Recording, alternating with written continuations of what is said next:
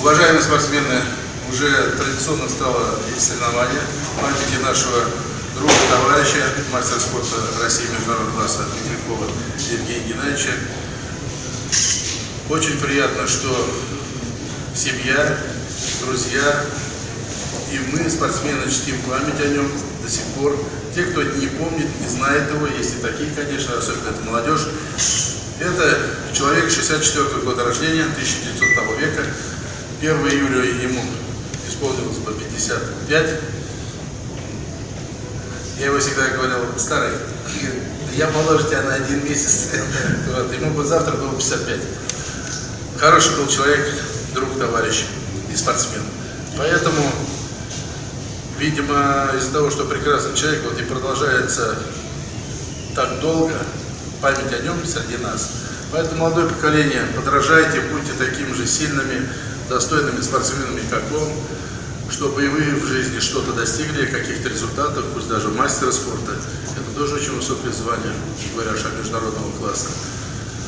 А, от себя хочу пожелать организаторам соревнования семье Раенко, его окружению Раенко, семье Катковой, Микрюковой, вот, жена и дочь, кто не знает, тоже все мастера спорта.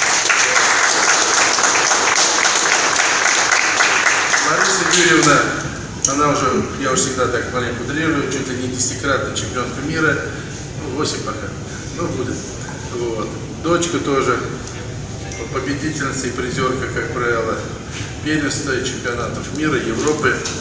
Сейчас они больше в жиме квалифицируются, но раньше и триборем активно занимались. Поэтому спортивная семья, спортивный дух, спортивная обстановка.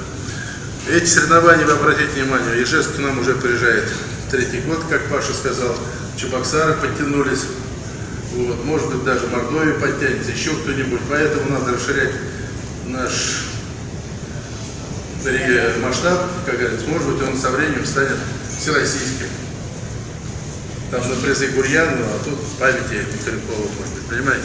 Ну, это нужны обстоятельства, нужны возможности, конечно, другие. Ну, над этим люди, я думаю, будут работать. И если вы тоже будете помогать, и хорошие у вас результаты будут, если это вам будет нравиться, сюда приезжать, то от этого тоже много зависит. Поэтому почтим память нашего друга минуты молчания, ну а потом продолжим наше соревнование. Всем встать.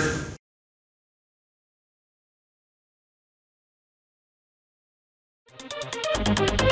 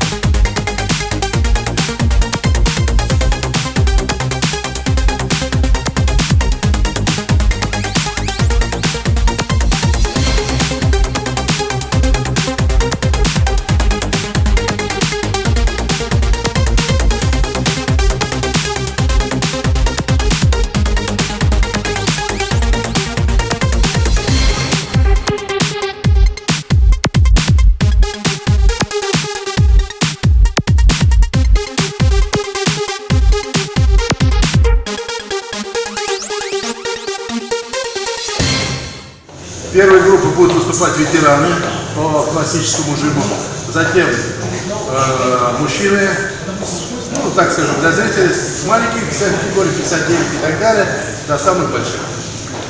Пожелаем им успехов. Представляю судейскую бригаду. Старший на помосте судья Хусаинов Руслан, первая, категория, Казань, мастер спорта России. Боковой судья Красильников Александр, первый сегодня набережной Челны. и боковой судья Сиднева Татьяна, первая категория Ижевск. Секретарь соревнований Микрякова Анна, мастер спорта, первая категория, наберчуны. Будем занять свои места, ассистенты готовы? Работаем четко, жестко и грамотно.